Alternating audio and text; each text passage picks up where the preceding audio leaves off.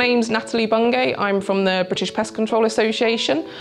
Today we'd like to talk about wasps. We've all experienced that barbecue or picnic that has been ruined by wasps flying around us. So today I think it would be very helpful if we talk a bit about wasps and what you can do to prevent them from causing a problem to you.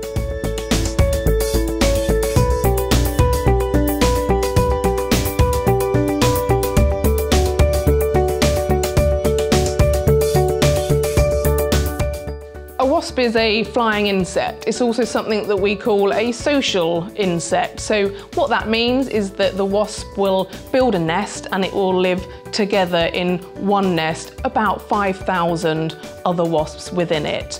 There are two main different types of wasps in the UK. It's very difficult to tell them apart. Um, some of the common names that use them are a German wasp and also a common wasp. But as I said, they're very difficult to tell apart. Some pest controllers can tell from the aggression levels can be slightly different, but generally they look very much the same. The life cycle of a wasp is something we call a complete life cycle. So an egg is laid by a queen, that egg then hatches out into a larvae. It's like a little, a little maggot, it's a larvae. Uh, that larvae, once it's ready, it will pupate, so it will, it will cocoon itself and start to grow within a small shell. Once that has gone through its cycle, it will hatch out into uh, an adult, which will look exactly like the wasps we see flying around.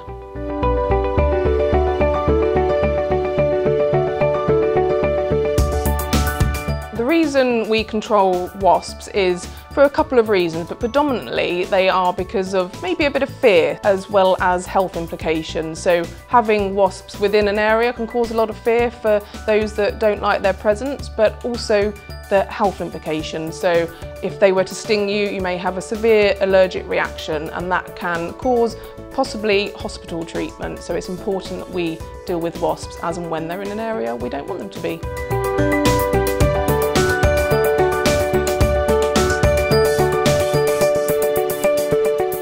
Best way to spot a wasp nest is from the activity of the workers.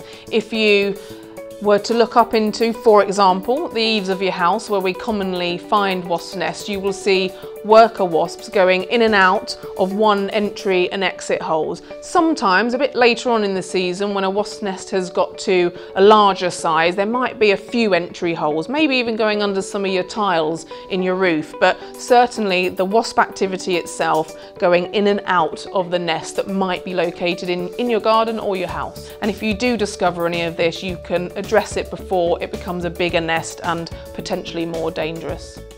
Wasps can actually be quite useful. The assumption is, is or a common question is, what do wasps do? Well, actually, wasps do two really important things, lots of things, but the two main important things is that firstly, their prey are small invertebrates, insects. They will actually catch those to feed to their young. So it does do a bit of insect control for ourselves within our garden, it might help your plant be protected from invading small aphids, for example. But also wasps can pollinate. They don't do it purposefully, but they do pollinate flowers, so they can be of great benefit. The best way to decide whether or not you need to treat a wasp nest is to look at the position that it's in and decide whether or not that position and the path of where the wasps are flying is in conflict with maybe your health and safety or the health and safety of your, your family.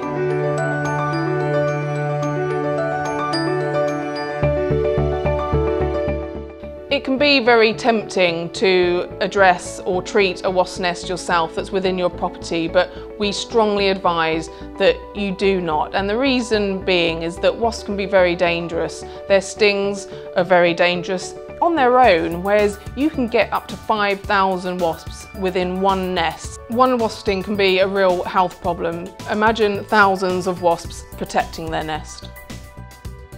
If you were to call out a professional pest controller, the first thing that they'll do is establish where the nest is, of course, the most important thing. Once they've established where the nest is, they will then make a bespoke decision on how they're going to treat your wasp nest. But normally it will include or involve a pesticide of some sort, an insecticide, uh, maybe a powder or a liquid. It really depends on where the nest is.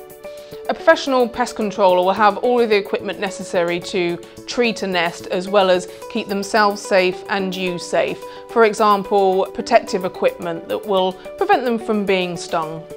To find a professional pest management company to deal with your wasp nest, you can use the BPCA Find a Pest Controller tool. All you need to do is enter your postcode and you will find a list of pest controllers in your area.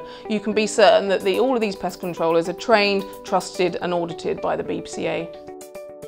For more information on wasp biology, behaviour and prevention, head to bpca.org.uk forward slash wasps. If you need a pest management company, then find a local member at bpca.org.uk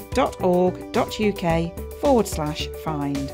Alternatively, you can call our 24 7 helpline on 01332 294 288.